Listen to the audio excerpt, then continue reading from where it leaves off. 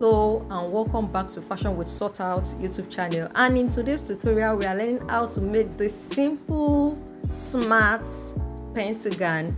Okay so we just need a trouser yard of um, crepe material to make this. Of course this depends on the measurement you are working with but me I'm using a, a trouser length for this project and here is my fabric folded into four you can see the way it's folded. I left extra 1.2 inch on the back side for our zipper. And also the area where the the, the i have the extra will serve as our neck where the neck will be. And the other area the other edge that is where we'll mark all our markings. And so the first thing we'll do is mark our back our m length for this project the the length we are working with is 43 i'll then add two inches to it for hemming. Okay so next i'll first okay i said i will mark the back. The back we are working with is 14 inches. I divide by 2 which is 7 and then add half inch to it for sewing allowance. And then i'll mark it then to have our arm circumference. Um our arm hole. Okay so i marked out eight inches and then i will cuff it to have the arm hole and then on the edge of the shoulder at the edge of the shoulder i'll mark down i will mark half inch to get to form our shoulder slant. And then our neck width will be 3.5 so from there i will connect it to the um half inch I marked on the shoulder line. The next we are going to consider is our under sorry our corset which is 10 inches and the next is our under bust length which is 13 inches and the last to it is our half length which is 15 inches okay so the last measurement is our hip circumference and to this i added six inches to my half length and then and then another 9 inches to the half length. So the 6 inches will serve as the upper part of the hip and the 9 inches will serve as the lower part of the hip. I hope you are getting what i'm saying. Okay so all we will input now is okay so later i added i marked out i didn't marked out the knee length. I didn't do that now. So what i the next thing we'll do is mark our body circumference. Our bust is 30 32 divided by 4 i add 8 and then i added 2.5 inches to it as our sewing allowance. I come down to the under bust area and then for our under bust our under bust is 28 inches. I'll divide it by 4 and then i have 7 inches.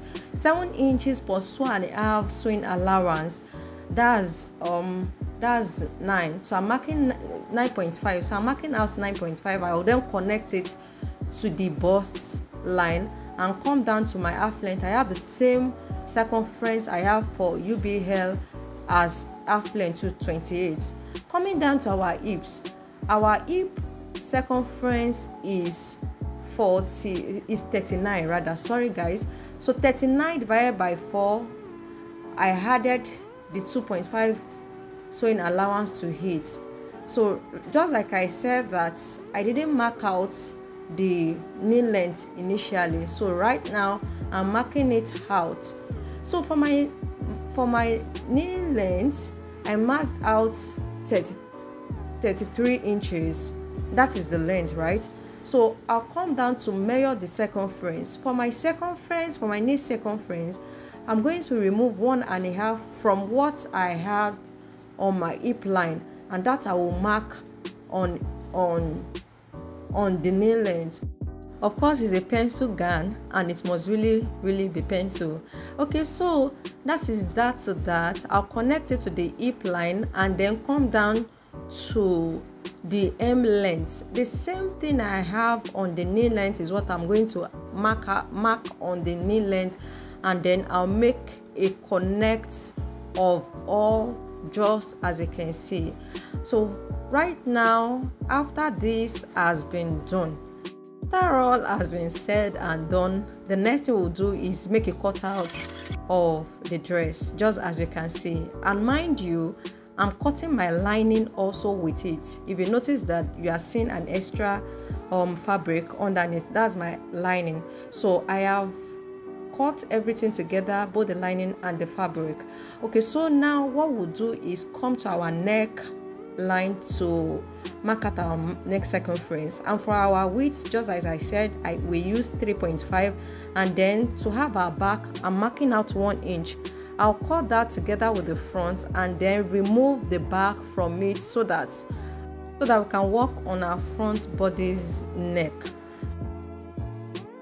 okay so now we have our front bodies all we have to do is since we have the neck width cut out already i'll just come down by two inches and connect to the neck width so that will automatically means that for the front um, neck we have three and a half by three I'll then make, you know, it has a an opening at the front. All I'll do is mark four inches extra and then cut it just as you see me do.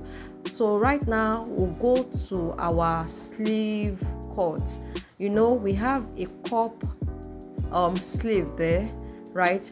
So what we'll do is for our sleeve cap, we're going to mark out five inches and then come down for to for the sleeve length will come down by four inches i hope you understand that so for our sleeve length we have four inches and for our sleeve cap we have five inches. I'm trying to label it so that you understand better what i'm saying. So that is our sleeve length area.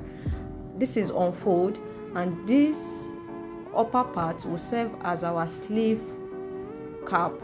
Okay so you can see that the the sleeve is so small it's not a long one so that's why i'm having four inches. So this is so this is how we are going to connect the two as you can see just take your cuff roller connect the cap with the length just as you see me do.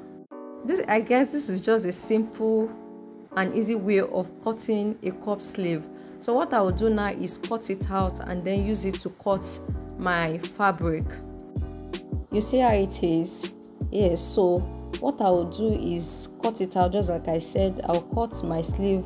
You can see the the cloth is so small that it's just managed. So this is all we have left left from the one tr- one trouser.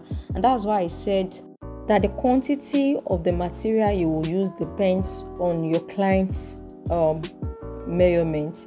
Okay so now i'll just cut the sleeve and then that is all to making this beautiful pencil gown an office dress.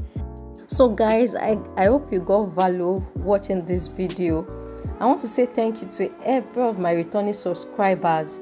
If you are here to subscribe please wait no further. Don't hesitate to do that make comments share our videos and always also press on the notification bell to get notified anytime i upload a new video. So guys thank you so much for staying through to the end. See you in my next video. Bye bye